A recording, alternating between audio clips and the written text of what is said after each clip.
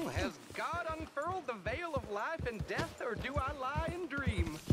And does the mighty world of sleep spread far around its circles? I ain't ready for that. Of all